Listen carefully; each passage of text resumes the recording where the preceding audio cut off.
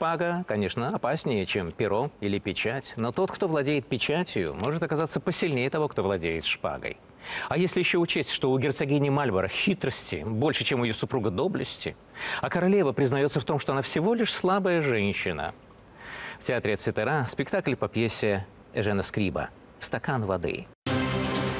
Кроме того, в нашей программе о музыке, которая на музыку не очень похожа. Это антропоценфония.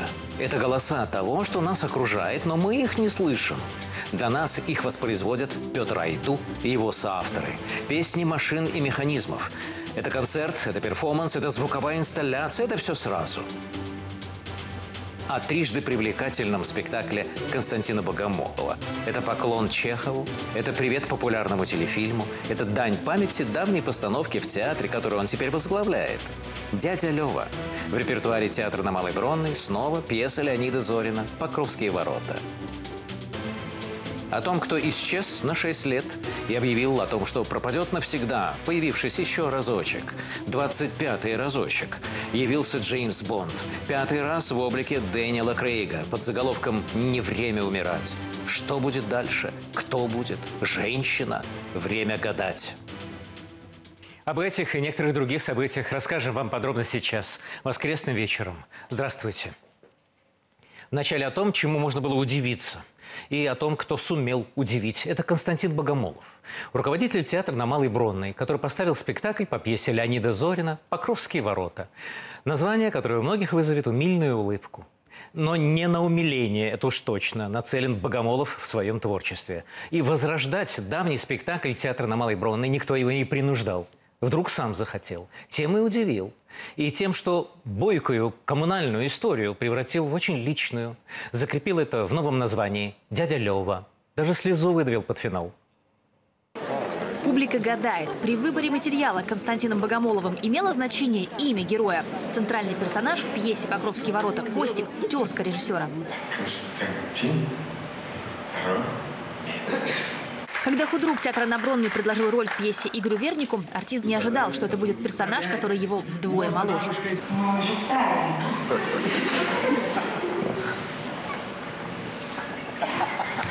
Решение? Глядя тогда на этот фильм, я думал, почему не я? Моя роль, это же я должен это играть. Шли годы, и эта идея Э, не возвращалась ко мне, не могу сказать, что я жил с этим, но знаете, она как бы угасала. Но с, с годами ты понимаешь, что и эта роль ушла от тебя, и эта роль, и этот образ. А Богомолов обладает уникальным свойством э, преображать истории пьесе Леонида Зорина театр обращается во второй раз. Впервые ее поставили в 1974-м режиссер Михаил Казаков. Тогда Людмила Хмельницкая играла Хоботову в спектакле «Дядя Лева» Алису Витальевну. Даже блузка на ней та же самая. Вы слушаете меня, дорогая? Э, Костик сейчас принимает душ. Э, соблаговолите оставить номер. Если у Казакова это была э, комедия такая до, до, до коликов э, в животе, то у Константина Юрьевича это спектакль э, о драматических судьбах людей. Ты не играешь текст, ты не, не, не, не, педалируешь там, я не знаю, э, какие-то восклицательные э, вещи или какие-то вопросительные. Э, э, это э, спокойный, нормальный, человеческий разговор, вот как мы разговариваем в жизни. Эти ваши претензии быть моралистом невыносимы. Да, я моралист. Вы фарисей.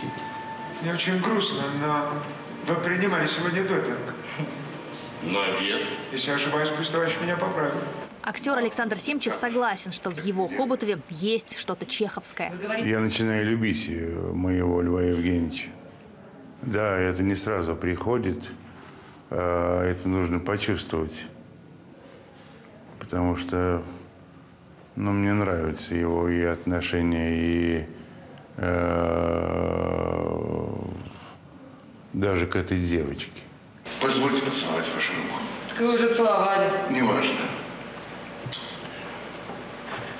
Спасибо за все. Вы прекрасны, Колония. Это такой поклон, амаш Это что-то такое ностальгическое, а, но при этом абсолютно из сегодняшнего дня. У меня нет никакого приступа. Будет. Ну, нормальная температура. Тем лучше. В холодном состоянии операция пройдет безболезненно. Хотя, согласись, сейчас твое состояние от холодного далеко. Те, кто по привычке ждут от Богомолова провокаций, отмечают, это самая целомудренная его постановка.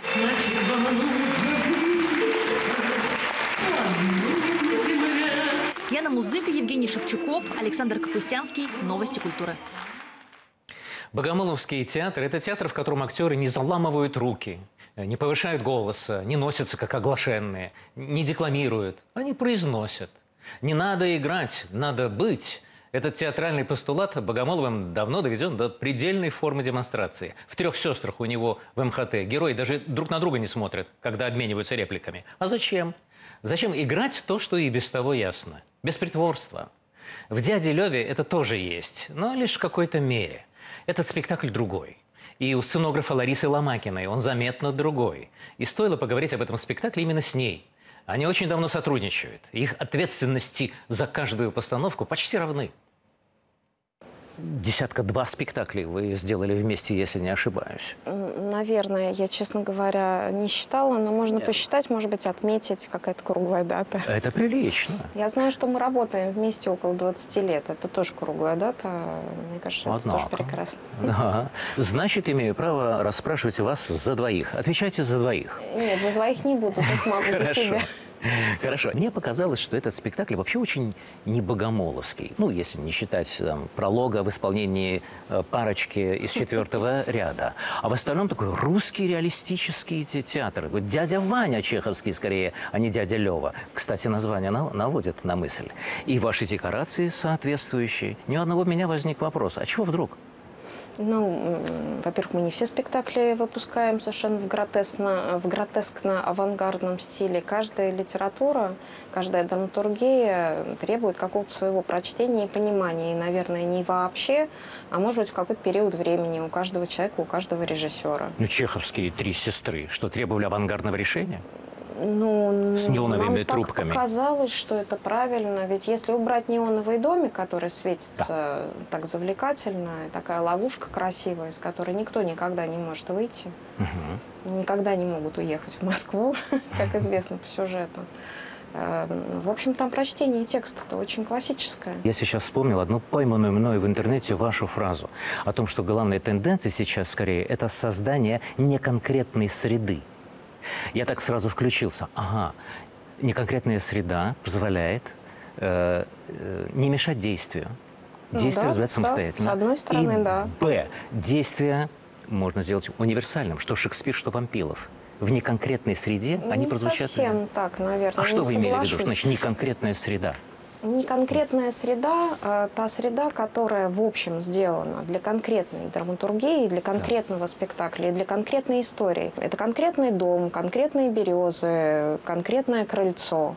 А можно себе представить более неконкретное пространство, которое дает возможности трактовать это пространство без его изменений практически, как вокзал, крыльцо, березки, кафе. Ну, вдруг появились столики. Мы понимаем, что понятно, это кафе или ресторан. Я все пытаюсь вычислить, э, ну, то, что называется, ваш индивидуальный стиль. У вас Чехов и Достоевский в неоновых трубках на черном ковролине, э, с- в современном э, глянцевом черном интерьере, Карамазовы а, или Три сестры А с вот этими «Идеальный самыми муж» трубками. А здесь такие милые пыльные шкафчики, э, без всяких современных безобразий. Как таковая пьеса Зорина, элегическая комедия 70-х годов. Ну, возможно. И так, такое впечатление, как будто делали разные художники, Возможно. разные А сценографы. если вы вот посмотрите еще раз на то, как идет спектакль, вы поймете, что квартира Здесь. у нас здесь не построена. У нас вся мебель стоит не на кругу, круг ездит сам по себе. И это лишь движение, движение времени, движение памяти, движение сюжета. Вас же не смущает, что каток мы не сделали катком, у нас нету ни одного человека, у нас висит сверху да, такая Гирлянды. гирлянда. Да. А, и крутится, потому что все ездят, а никто у нас толком, в общем, и не ездит. Мне не дает покоя один прием, очень модный прием. Это видеотрансляция действия на экраны. Где я его только не встречал. В балете и в опере даже. И у вас в Карамазовых, в «Трех сестрах», в «Мужьях и женах». И здесь трансляция. «Идеального мужа», Ходит да. человек с камерой по, по сцене. Я хочу вас довольно грубо спросить, а можно без этого обойтись? Отвлекает. Ну, вы знаете, пока у нас, к сожалению, нет возможностей э, беспроводного вот такого и бесконтактного, и бесперсонажного управления видео, а видео нужно, потому что видео передает Зачем? очень сильную эмоцию. Она А. помогает восприятию текста, она помогает движению истории. Потому что я не могу э, показать эм, человеческую мимику, а это невероятно важно именно в этот момент в 12 ряду. Зато у человека в 12 ряду будет возможность это увидеть на большом экране. Мне кажется, что это важно, потому что это Ну, хотя такое как прежде усиление. обходились, да, без такого крупного плана, Э, без Театр, трансляции. вы да. знаете, удивительная штука. Э, Он очень быстро меняется. Вот литература быстро меняется, кино очень быстро меняется, а театр он и кино, и литература, э, и наше восприятие гаджетов. Я обратил внимание на такую вещь, что здесь, в этом спектакле, в этом зале возникло некоторое общее единство пространства. Здесь все советское, и там, э, в дворец на Яузе, все советское, Да, такой советский ампир. Они сошлись. Правда. Но в подавляющем большинстве случаев в театре, вообще говоря, этого единства э, нет. Здесь одно, там совершенно другое. У вас не было желания, вы архитектор по образованию, Да. Переделать и пространство зала тоже, создать единое пространство, это перекрасить его, создать совсем уж единое пространство. Если бы не была бы такая возможность, может быть, я делала для каждого спектакля такую Требуйте. историю. Мне кажется, в этом нет необходимости, потому что все равно люди, которые приходят в театр, в классический театр, они понимают, что это зрительный зал, а а это сцена. И наша задача, чтобы зрелище, которое на сцене, захватило тех людей, которые в зрительном зале.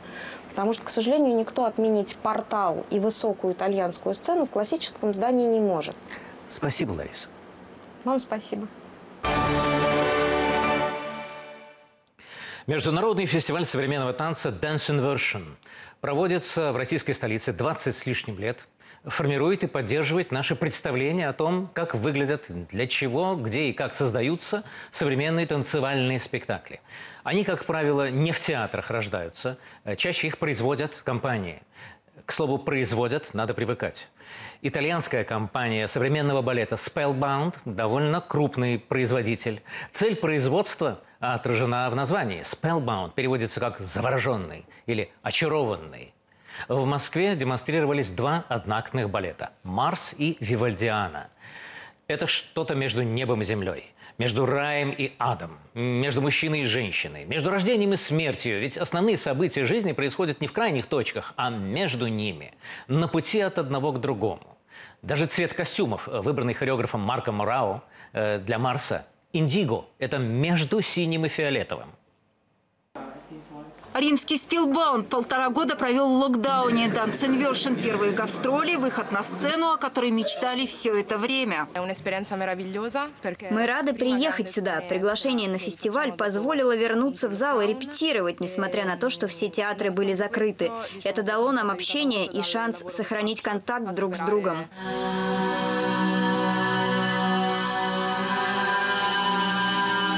Итальянцы привезли балеты двух хореографов. Марс Марко Самарао – это враждебная планета, лишенная жизни и бог войны у древних римлян. А еще история самого Маркоса.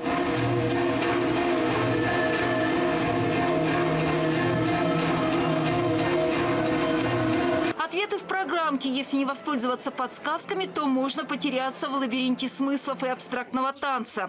Комбинезоны цвета индиго стирают гендерные различия. Кажется, на Марсе обитают существа, рожденные фантазией. Для меня Марс непростой. Здесь абстрактный и музыка, и танец.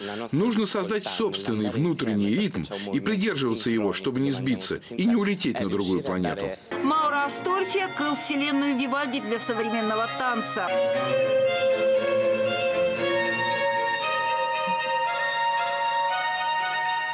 Почти час под музыку барокко танцовщики языком контемпорари рассказывают истории. Танец Астольфи и музыка Вивальди, которого современники называли эксцентричным рыжим священником, совпали. Словно их не разделяют какие-то 300 лет.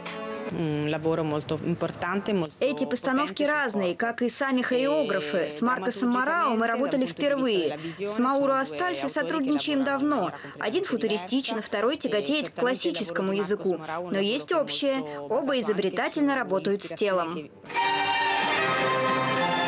Труппа существует почти 25 лет в России впервые. Это новый опыт и новый взгляд и для танцовщиков, и для зрителей.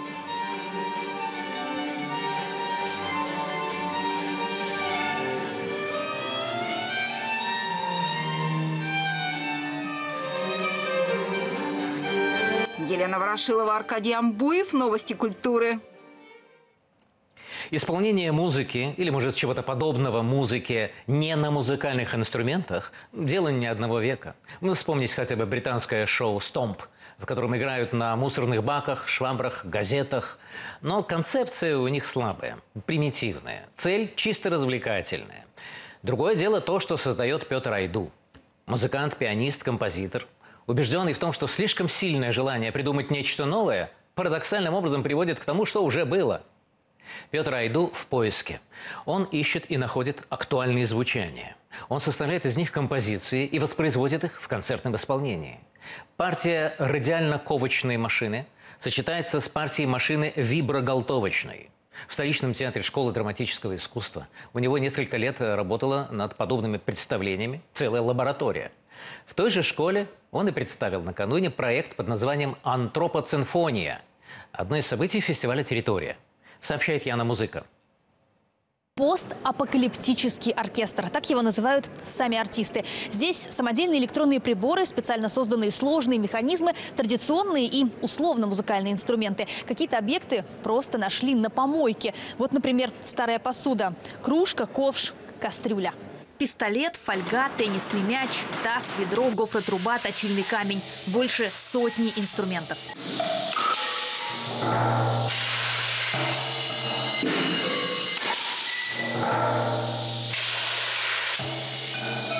В основе партитуры звучание заводских цехов.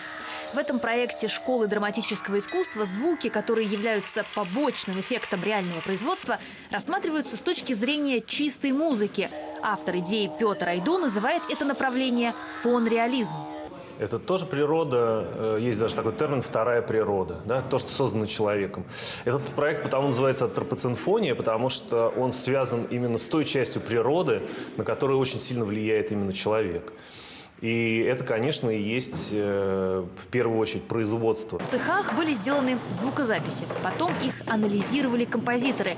Методом исследования искали, с помощью чего можно эти звуки воссоздать.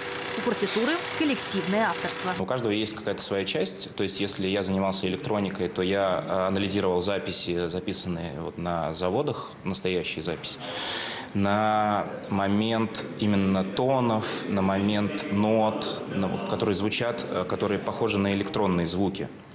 Снимали мы их там, с помощью, ну, с помощью там, э, таких приборов э, и потом воссоздавали с помощью генераторов сигналов и тому подобных синтезаторов.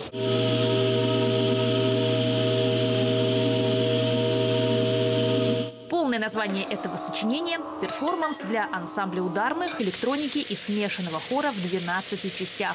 Каждая посвящена отдельному производству. Лесная биржа, штамповочная печать, вибросортировка, насосная станция. 12 песен, машин и механизмов, которые складываются в драматургическое единство.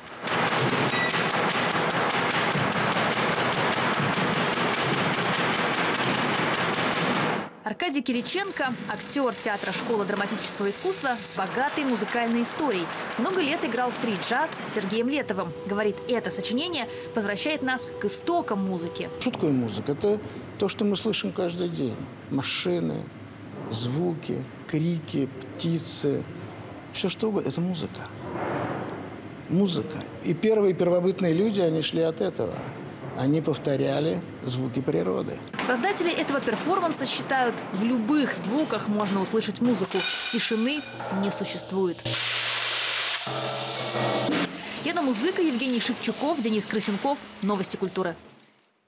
Петр Айду – выпускник консерватории, пианист, превосходный музыкант. Тот, кто, может, слышал в его исполнении, например, сатаническую поэму Скрябина, подтвердит мои слова.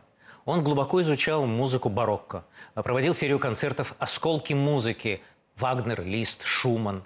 Я не удивился, когда случайно обнаружил на столике э, в перерыве репетиции антропоцинфонии э, три нотных листка «Альбан Берг», «Соната».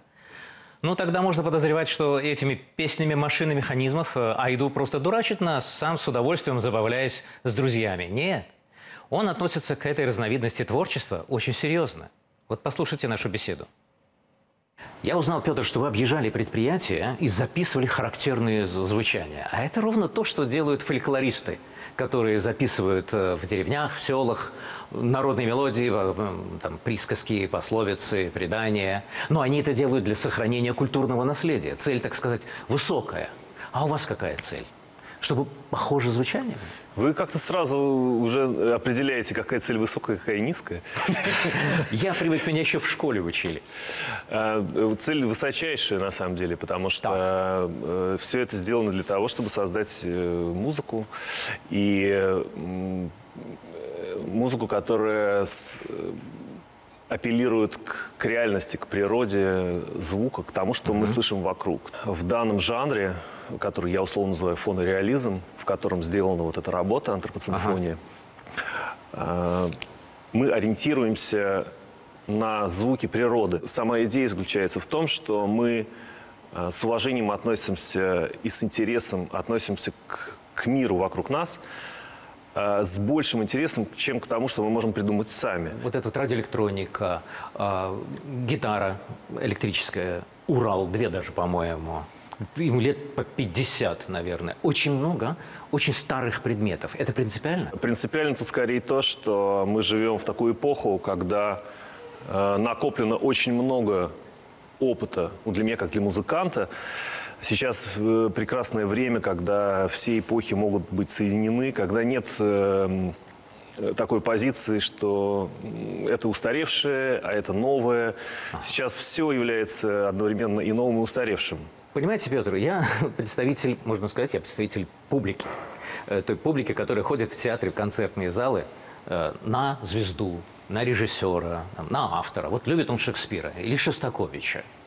А на что человек э, как вы считаете, мог бы прийти сюда, чтобы получить что? Я не могу с этой точки зрения рассматривать, потому что я не продюсер. Ага. А, я автор в данном случае. Я больше всего ориентируюсь как раз на чисто эмоциональное, э, эмоциональную реакцию и на интересность происходящего. Это звуки э, производства, это звуки как раз того, э, скажем так, это звуки, э, благодаря которым родился, рождается наш вещественный мир, который нас окружает. Да? Ну, например, там да. есть часть, ага. которая называется э, выдув ПЭТ. Да? Это э, можно услышать, как звучит машина, которая делает пластиковые бутылки. Пластиковые бутылки все, мы все ими пользуемся, они нас окружают, из них даже целые острова уже в, в океане выросли. Тем не менее, никто, мало кто слышал, как, как рождается пластиковая бутылка. В искусстве, как известно, название играет не последнюю роль. И ваша антропоцефония, антропоценфония, да? Я, да. Даже, я даже выучить не смог. Антропоцен. Термин, обозначающий геологическую эпоху с уровнем человеческой активности, играющий существенную роль в экосистеме Земли. А вы, а вы не думаете, что такое название может скорее отпугнуть, чем э, привлечь?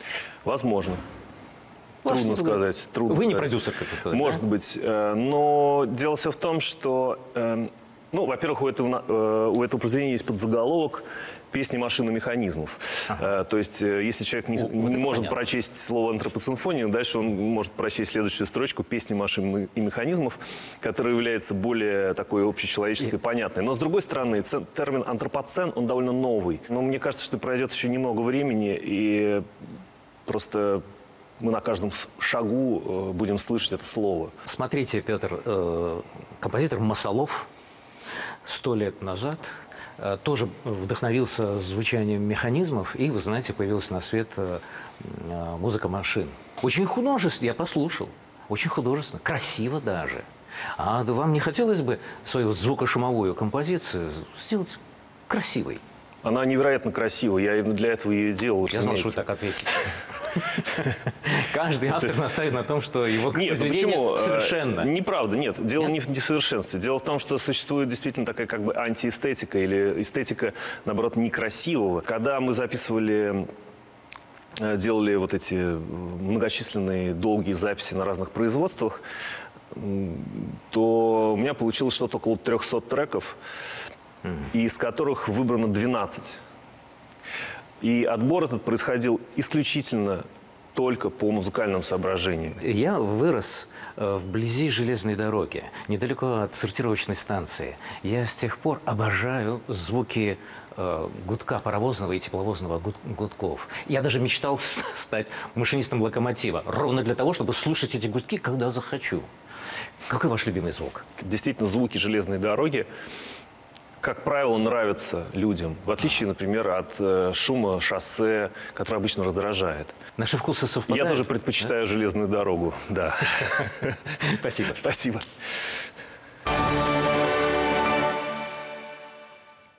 Очередная премьера в столичном театре «Эцетера» заставила вспомнить реплику худрука театра Александра Калягина о том, что следование моде неизбежно приводит к подражательству. В «Эцетера» не пытаются шокировать тем, чему, как говорит Калягин, сто лет в. Экранами на сцене, э, или мужчинами, играющими женщин, э, или прикройкой оригинала такой, что зритель силится понять, что это, что это было. Борис Морозов, недавно оставивший пост худрука театра российской армии, поставил в театре Калягина спектакль по пьесе, в которой все, ну, ну просто вообще все заключено в диалогах, в обменах колкостями, заявлениях, молениях. Минимум действия, почти нет его. Пьеса Эжена Скриба «Стакан воды».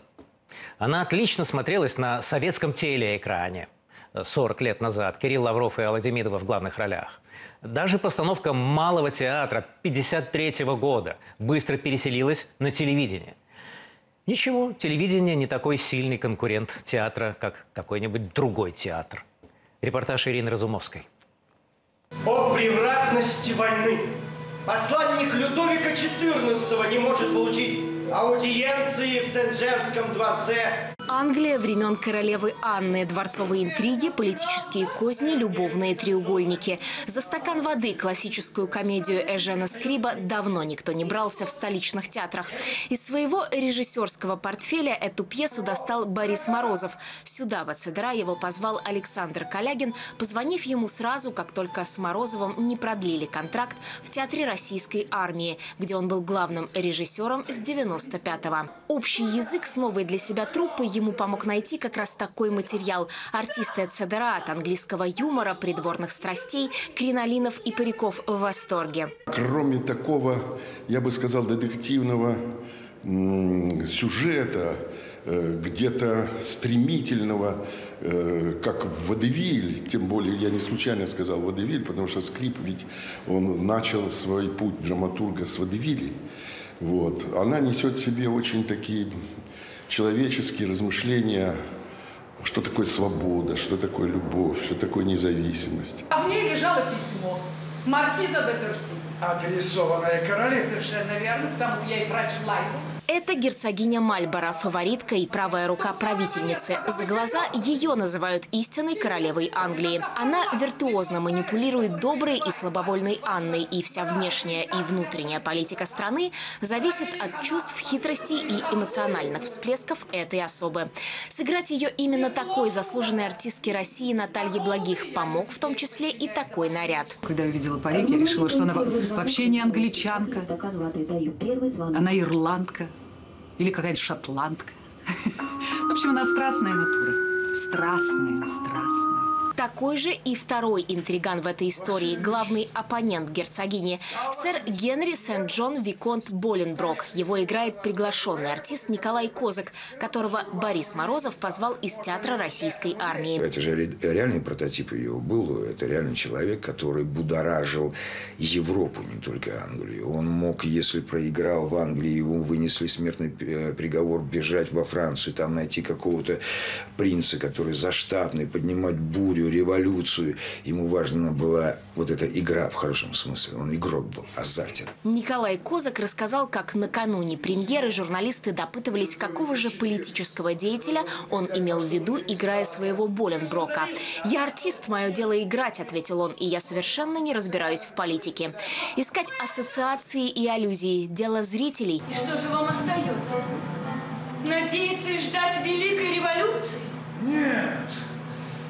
Случай. Ирина Разумовская, Денис Остапчук, Новости культуры. Бедняга Джеймс Бонд, герой холодной войны. Постоянно или он преследует, или его преследуют. Постоянно возникает угроза со стороны негодяя, которому плевать на человечество, и приходится спасать человечество. Фильмов о спасении страны, группы людей или даже одного человека, какого-нибудь рядового Райана, тоже достаточно. Но все-таки миссия Бонда куда масштабнее. Она только космос еще не затронула. Представляю себе Бонда в скафандре. Уже не Дэниела Крейга. Объявлено, что он свое отыграл. Новый фильм с ним о Джеймсе Бонде, который, как следовало ожидать, внезапно бессмертен и опять бросается в бой, назван, тем не менее, «Не время умирать». Теперь ясно, почему я снова в. Не время выпускать, острили критики. Премьера нового фильма о Джеймсе Бонде не раз переносилась из-за пандемии. И вот спустя 18 месяцев Бонд снова спасает мир. На этот раз от нано-оружия. Оно еще меньше, чем любой вирус, но смертоноснее самого страшного яда зарубежных разведок. Бонд уже не агент 007, но все так же в прекрасной форме и нужен Англии. Да и чего уж скрывать всему человечеству, причем срочно.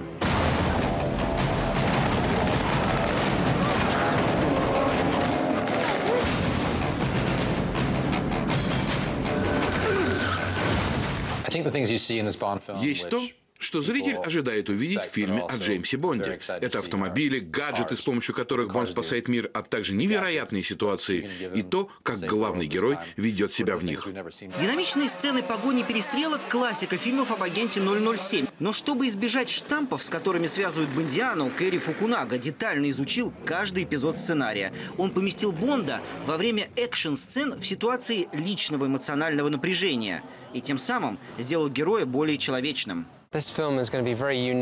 История в этом фильме очень эмоциональная, что не характерно для Бонда. Он побывал в необычных для себя ситуациях, и я думаю, что когда Дэниел играл в этой картине, он был очень удивлен сюжетными поворотами. Главный злодей нового Бонда – Люцифер Софин. Экзотичен не только своим именем. Впервые на экране он появляется в маске театра «Но». По замыслу художника по костюму маски «Но» отличаются тем, что ничего не выражают и в зависимости от действия актера и освещения могут порождать самые разные эмоции. Внушать страх, излучать безмятежность или агрессию. Я изучила всех бондовских злодеев. Их образы стали иконами поп-культуры и были неоднократно спародированы. Но есть то, что объединяет их, и я старалась найти именно эти черты. Традиционную бондовскую песню для фильма «Не время умирать» исполнила американская певица Билли Айлиш, обладательница семи премий Грэмми. На момент записи Айлиш было 18 лет. Она стала самым молодым в истории Бондиана исполнителем заглавной песни. Историю о неверной любви и предательстве Билли и ее брат, музыкальный продюсер, сочинили всего за три дня. Это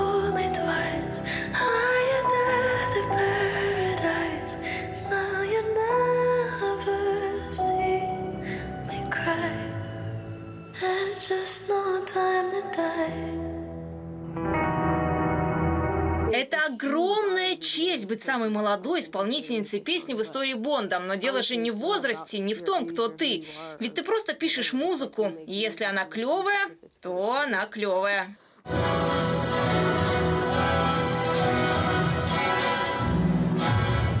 Премьера ленты состоялась в лондонском Альберт-Холле. По красной дорожке актеры и гости прошли под записи хитов Бондианы. Для Дэниела Крейга это пятый фильм о Бонде и последний. Попрощаться с образом он решил в нетипичном для его героя малиновом пиджаке.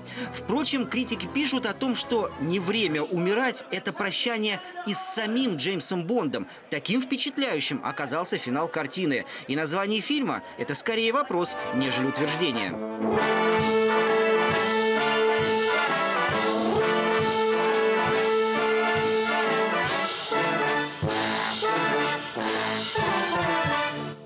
Анисимов, Анастасия Васильева. Новости культуры.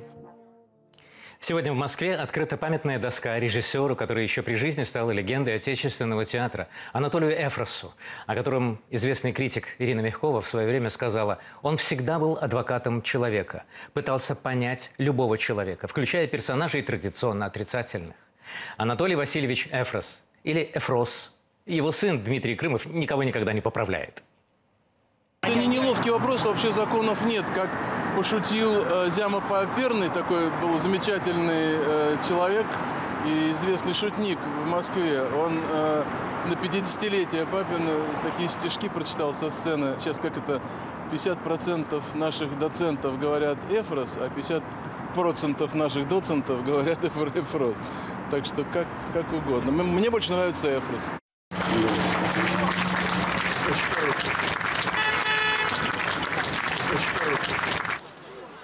Изображение на доске предельно лаконичное, никакого вдохновенного лика или гордого профиля. Просто автограф Анатолия Васильевича Эфроса.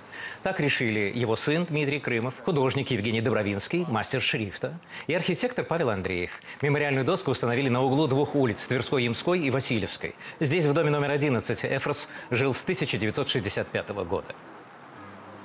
Мне как-то э, в каких-то примерах было, были белые доски в Италии, в южных городах на белом мраморе выдолбленные. Здесь жил Микеланджело. Ты балдеешь, потому что выдолблено очень мелко, но имя Микеланджело как-то...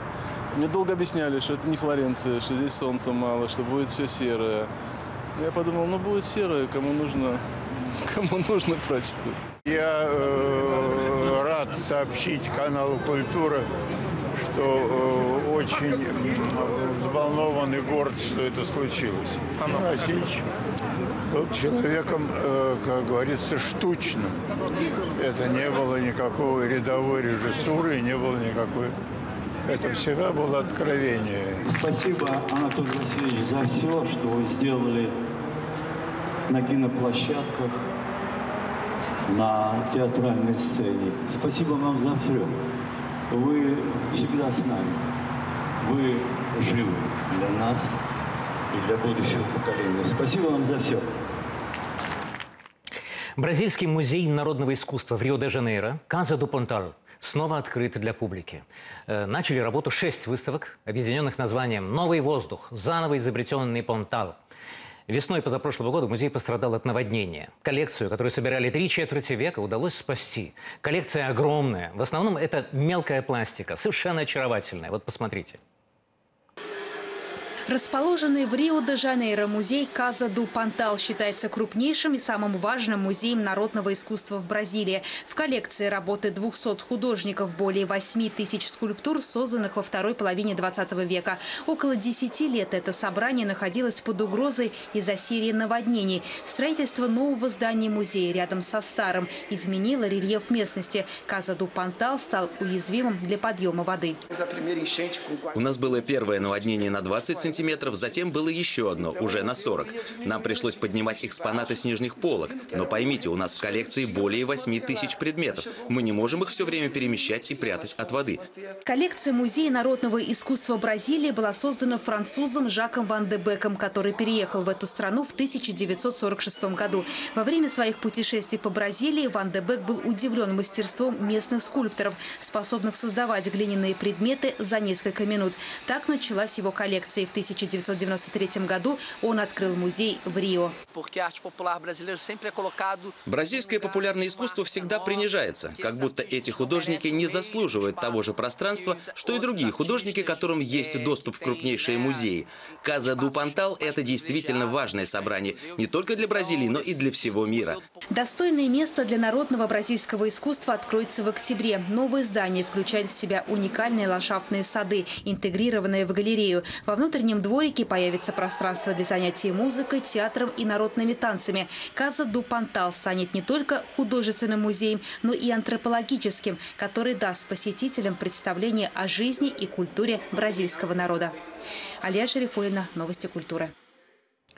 Накануне вечером в Большом театре случилось несчастье. Возможно, вы уже знаете о нем. Погиб 38-летний актер Миманса Евгений Кулеш. На оперном спектакле «Садко» на него опустилась декорация. Очевидцы рассказывали, что артист отодвигал расположенный на сцене трон и не успел отойти, когда сверху опускалась двухтонная декорация. Он скончался в результате открытого перелома черепа. Евгений Кулеш почти два десятка лет отдал службе в Большом театре.